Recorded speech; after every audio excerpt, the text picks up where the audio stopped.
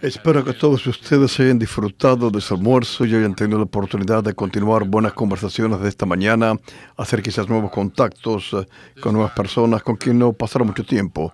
Para mí en estos momentos es un privilegio y un placer dar la bienvenida al gran amigo de todo el vecindario, gran amigo de México, Centroamérica y todo el hemisferio occidental, al vicepresidente de los Estados Unidos, Mike Pence.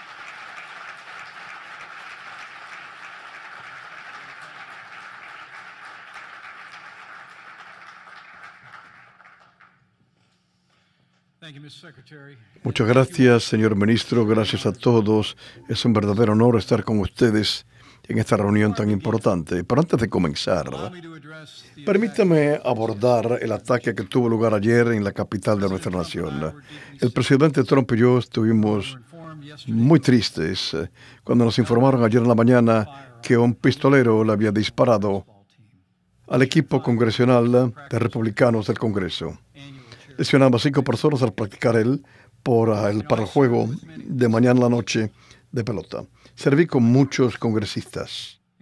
Estos son amigos míos, incluyendo el representante Steve Callis, quien fue seriamente herido, pero puedo decir con confianza que él continúa recibiendo eh, la mejor atención médica posible en el hospital MedStar en eh, Washington, D.C. Congresista Scalise es un buen hombre, es un líder de principios es un patriota. Y como todos aquellos que vienen a servir al Capitolio, en la capital de nuestra nación, Steve ama este país. Y su servicio sí favorece al pueblo de su estado y al pueblo de esta nación. Kevin y yo nos unimos a millones en los Estados Unidos de América orando por Steve, todos aquellos lesionados y sus familias en estos momentos difíciles. Pero estamos especialmente agradecidos a los oficiales de la policía valientes, quienes corrieron hacia el peligro sin importarle su seguridad personal. Esta mañana hablé yo de la acción tan valiente de Crystal Griner y el oficial David Bailey, quienes salvaron las vidas y evitaron una tragedia peor. El pueblo estadounidense está agradecido por estos oficiales de la policía tan valientes.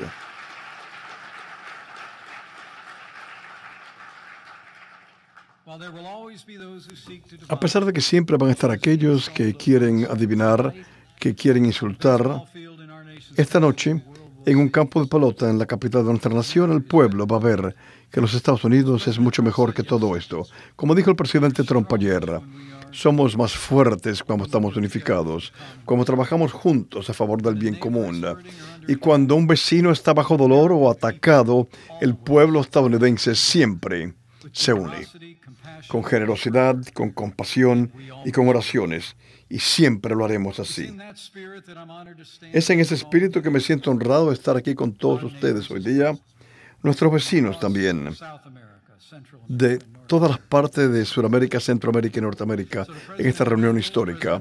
Presidente Hernández, presidente Morales, vicepresidente Ortiz, ministro Vidigari, Vidigaray, secretario Osorio, miembros del gabinete, honrados invitados. Es mi privilegio como vicepresidente de los Estados Unidos darle a ustedes la bienvenida a esta conferencia sobre la prosperidad y seguridad de Centroamérica.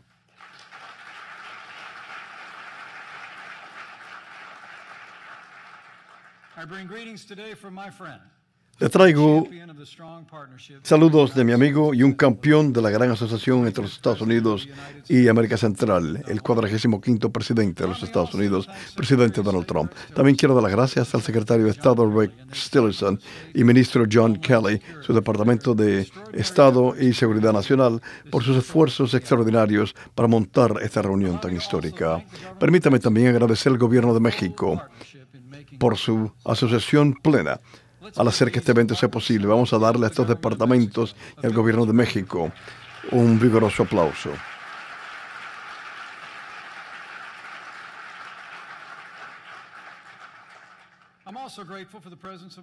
Estoy también agradecido por la presencia de nuestro secretario de Hacienda, Steven Mnuchin, y quiero expresar mi agradecimiento al Banco Internacional de Desarrollo y a la Cámara de Comercio estadounidense por haber organizado el evento económico de ayer. También quiero personalmente agradecer a los líderes sectoriales privados y eh, públicos que están acá, que viajaron por todo el hemisferio occidental y por Europa, desde Europa, ante este grupo tan distinguido de líderes, hoy día para mí es un privilegio, en nombre del presidente Trump, de agradecerle al presidente Hernández, agradecerle al presidente Morales y agradecerle al presidente Ortiz por el progreso que ustedes han logrado en el Triángulo del Norte. Los felicitamos a ustedes y los felicitamos.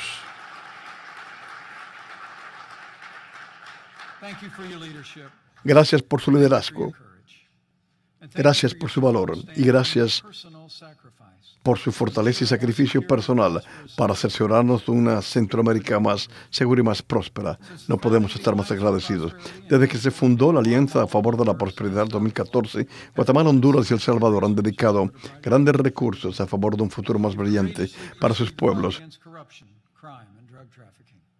ha luchado contra el narcotráfico y el crimen, han tomado reformas estructurales para establecer una fundación más fuerte para el crecimiento económico, trabajando en cooperación de cerca con socios en instituciones gubernamentales instituciones ah, particulares para buscar soluciones a los problemas a que se encara Centroamérica. Su resolución es impactante. Sépase hoy día que usted tiene el gran respeto del presidente de los Estados Unidos y el pueblo estadounidense.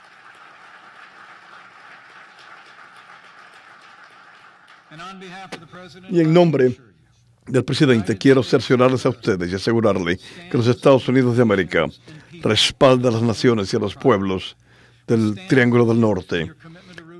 Los respaldamos en su compromiso de eliminar el crimen y la corrupción, también con el compromiso de ustedes para evitar el azote del tráfico de estupefacientes una vez y para siempre. Los Estados Unidos los respalda a ustedes al desarrollar ustedes eh, un futuro más seguro y más próspero para el beneficio de sus pueblos y el beneficio del hemisferio occidental.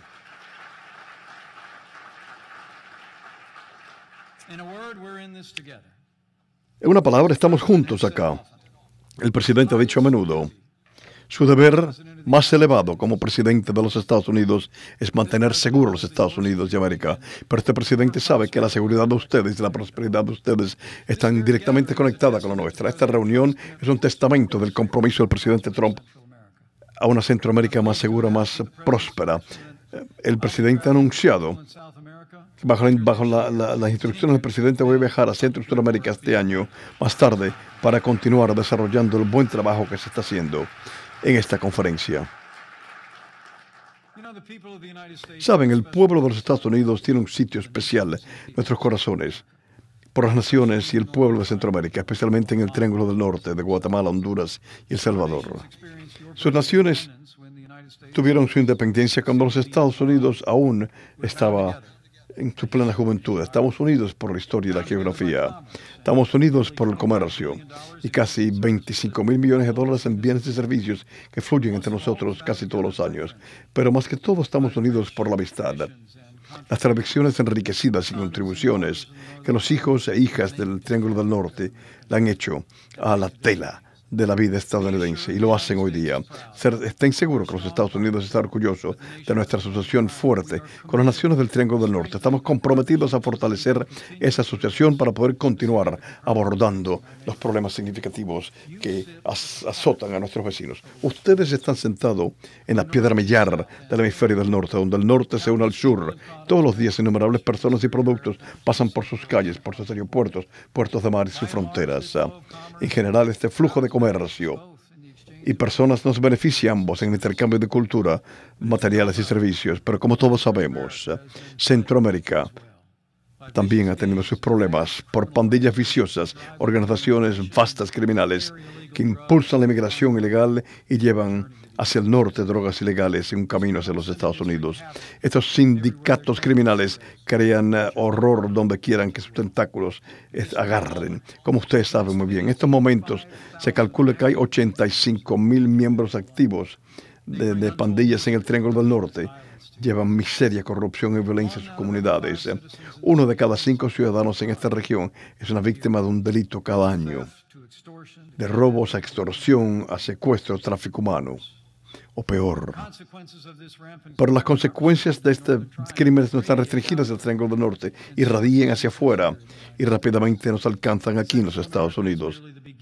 Centroamérica meramente es el comienzo de un viaje muy lejos para demasiados inmigrantes que se escapan de la pobreza y es meramente una parada en la carretera al enfrentarse a los mercaderes de la muerte.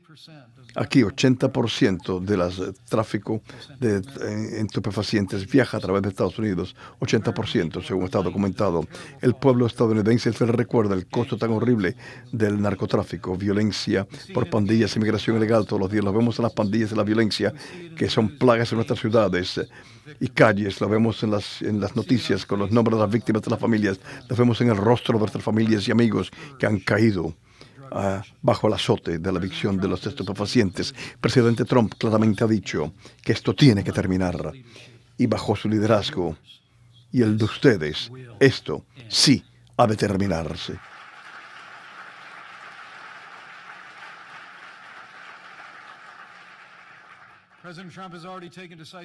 El presidente Trump ya ha tomado acciones decisivas para proteger al pueblo estadounidense de las consecuencias peores de la inmigración ilegal y el, narcotráfico transnacional. Este presidente ha ordenado la creación, en sus propias palabras, de una estrategia agresiva para desmantelar los cárteles criminales que se diseminan en toda nuestra nación. Nuestra administración no ha desperdido tiempo bajo el liderazgo del ministro Kelly, sacando miembros de las pandillas narcotraficantes y criminales de las calles de los Estados Unidos de América.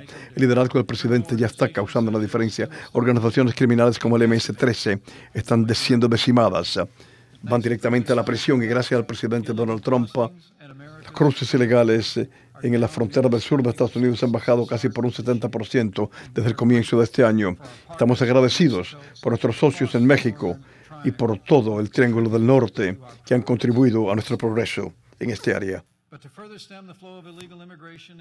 Pero para detener aún más el flujo de inmigración ilegal y estupefacientes ilegales en los Estados Unidos, sabe el presidente Trump, como saben todos ustedes, que tenemos que confrontar estos problemas en sus raíces. Tenemos que enfrentarnos a ellos y resolverlos uh, en Centro y Sudamérica. La Asociación de Estados Unidos con el Triángulo del Norte está construida para lograr esta visión vital eso es lo que nos lleva aquí hoy. Con respecto a la seguridad, los Estados Unidos de América está ayudando a capacitar a sus fuerzas policiales. Estamos respaldando a sus fiscales generales al estar ellos actuando contra la corrupción, líderes de pandillas y narcotraficantes, para evitar el flujo de armas efectivo en las manos criminales. Estados Unidos está orgulloso de apoyar programas en el Triángulo del Norte que fortalecen la sociedad civil, mejoran la educación y eh, aumenta el, crecimiento económico en áreas empobrecidas. La asistencia estadounidense en el desarrollo de comercios, agricultura en Guatemala, El Salvador y Honduras en años recientes ha creado más de 40 mil empleos y ha elevado a decenas de millares de familias, sacándolas de la pobreza. Cerciórense ustedes que bajo el liderazgo del presidente Trump, los Estados Unidos ha de continuar trabajando con nuestros socios para apoyar los programas que son eficaces. Y aún en estos momentos de desafíos fiscales, me siento contento de reportar que el presidente Trump claramente ha dicho que está comprometido a esta región, pidiendo 460 millones de dólares adicionales para la seguridad de la prosperidad en Centroamérica.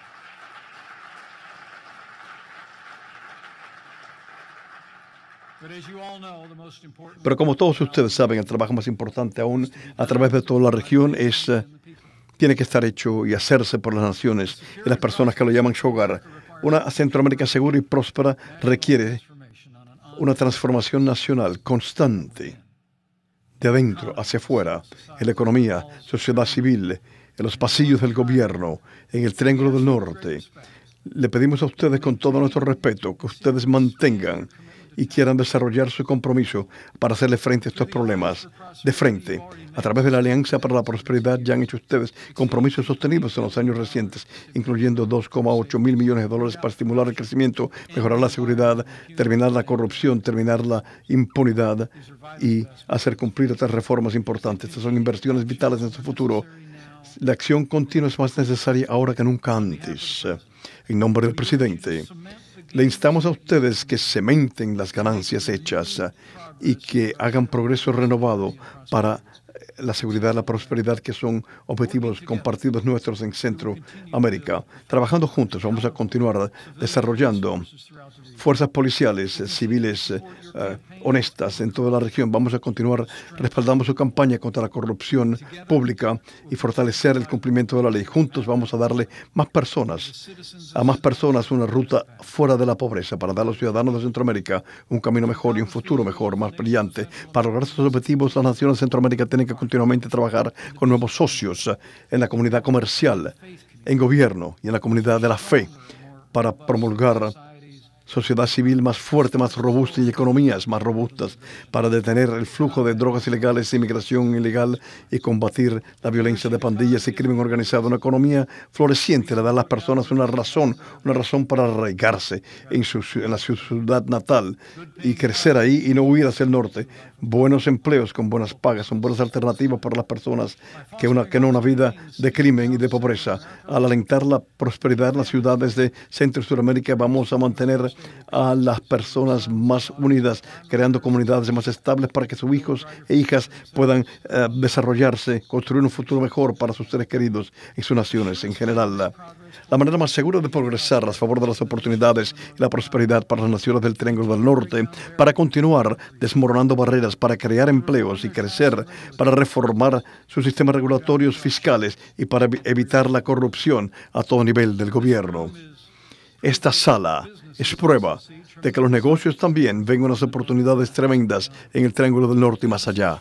Desde los negocios de Norte y Centroamérica están también representados acá, tal y como están el Banco Internacional de Desarrollo, el Banco Mundial y el Fondo Internacional Monetario. Estas instituciones y líderes de la industria, les puedo asegurar yo a ustedes, desean asociarse a sus naciones para mejorar el clima de inversión, para crear empleos, para alentar el tipo de crecimiento para tener un mejor futuro en sus naciones y la nuestra. En nombre del presidente y todos los eh, negocios estadounidenses aquí representados, le puedo prometer a ustedes que queremos que ustedes crezcan. Queremos exportar más bienes y servicios a sus países porque su éxito es el éxito nuestro.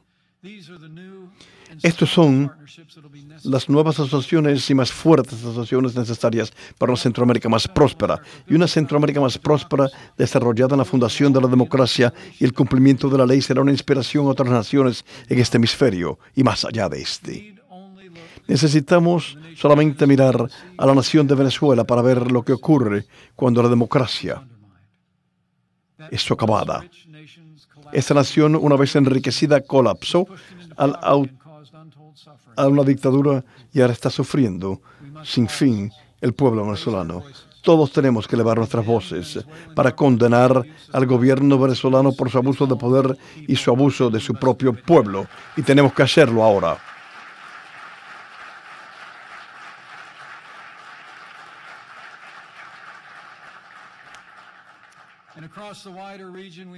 Y por toda la región tenemos que demostrar a Venezuela y su pueblo que hay un mejor camino el camino de la democracia, de la justicia. Y antes que todo tenemos que enseñar a Venezuela la libertad, que la libertad es el único camino a la prosperidad verídica para un mejor futuro para su pueblo. Siempre tenemos que recordar que la seguridad es la base de la prosperidad. En el Triángulo del Norte tenemos que lograr nuevas y mejores asociaciones más fuertes para sacar los criminales, los cárteles, eh, las pandillas que socavan un futuro de paz y seguridad para sus pueblos. Es vital que el Triángulo del Norte se desarrolle una cooperación de seguridad e integración no solamente con los Estados Unidos, pero también con otras naciones de Centroamérica, Belice, Costa Rica, Nicaragua y Panamá. Por lo tanto, también tenemos que trabajar de cerca con México para eliminar a los narcotraficantes e interrumpir las organizaciones criminales al ellos desear viajar hacia el norte. Y no podemos subestimar la importancia de las fuertes fronteras. Bajo el presidente Trump, las fronteras de Estados Unidos serán fuertes, pero las fronteras de los Estados Unidos siempre estarán abiertas. Hay inmigrantes legales y el flujo legal de comercio pero nos vamos a asegurar que nuestras fronteras estén cerradas. A aquellos que quieren hacernos daño y será impasable a los estupefacientes que están acabando con nuestras familias y comunidades. Hoy día, Juramos fortalecer los nexos que unen a los Estados Unidos con el Triángulo del Norte y a todas las naciones de América Central, juntos en este nuevo mundo. Que hoy día marque el hito de un principio de una nueva era aquí en el nuevo mundo. De una asociación y progreso a través de nuestro vecindario para el beneficio de todos nuestros pueblos. Como el libro del Viejo Testamento dice, que nos alentemos unos a los otros y nos construyamos y edifiquemos unos a los otros, como de hecho estamos haciendo. Juntos yo sé que vamos a desarrollar los cimientos de amistad entre nuestros pueblos y nuestras tierras. Juntos vamos a llegar a las alturas como nunca antes de seguridad y paz y prosperidad. Y juntos, con la ayuda de todos los líderes reunidos acá, con su determinación y renovado compromiso, a los principios que hacen de la seguridad y la prosperidad algo posible, con el presidente Donald Trump en la Casa Blanca y con la ayuda de Dios. Yo sé que vamos a terminar la prueba y la tarea que tenemos ante nosotros. Vamos a dar un paso hacia adelante juntos en el hemisferio occidental y vamos a encontrarnos con el futuro glorioso que nos espera. Muchas gracias, que Dios nos bendiga. Que Dios bendiga a Centroamérica, que Dios bendiga a los Estados Unidos de América.